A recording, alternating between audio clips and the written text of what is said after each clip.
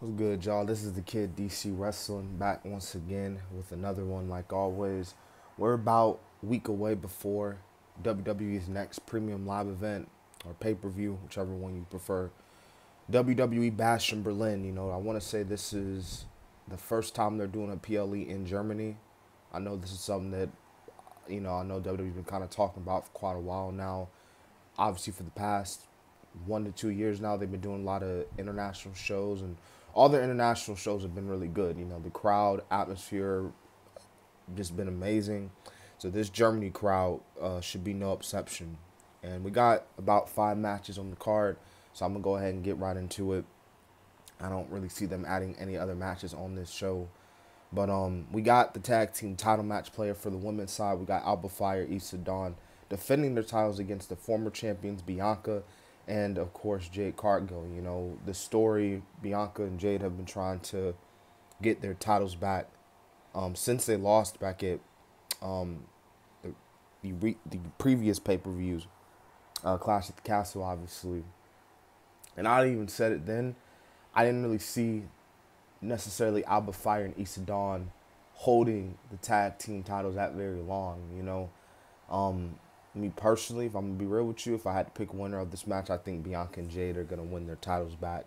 So it'll definitely be a shock if the unholy union end up retaining their tag team titles. You know, um, but should be an okay one. It'll probably be, it'll probably be one of those cool down matches if I'm being honest. And uh, yeah, I think Bianca and Jade got this one in the bag.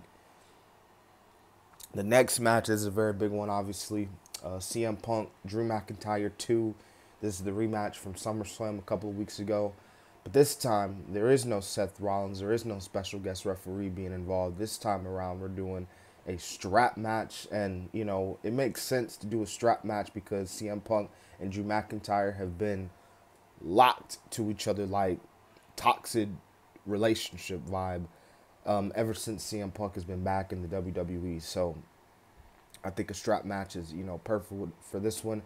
I did see a few complaints online because, see, in this match, particular strap match, you know, they, um, you know, you got to touch the, the, the goal post like four times just to win the match, um, or the turnbuckle in a sense. And I've seen a few people that weren't too really happy about that, but nevertheless, I think it's there. If there's anybody who can make you know, a match like that work, it is CM Punk, it is Drew McIntyre, and we've seen strap matches like that before in the past. So either way, um, I do think CM Punk does go over here. I feel like you know you got to even score out. You know, Drew McIntyre won at SummerSlam, so I feel like from a logical storyline standpoint, it makes sense for you know CM Punk to well get his lick back, and he will. I feel like when he beats Drew McIntyre in this strap match. The next match, you got the Terror Twins, as they call it, the original members of the Judgment Day who started the Judgment Day. Uh, Rhea Ripley, Damian Priest are going to be taking on the new Judgment Day in the form of Liv Morgan and Dominic Mysterio. You know, I don't need to really go in about the storyline. I think we all know what's going on. I mean, this is one of the big topic points. I mean, in WWE right now, this whole Liv, Rhea, and uh, Dom storyline. You know, it's been going on the whole summer, and honestly, I I would give it to living to um Liv and Dom. I feel like I feel like, you know, this Judgment Day man. If you're gonna get these guys and girls off hot, you got to give them the win like crazy. And I don't know. Something tells me this ain't really the end of this feud.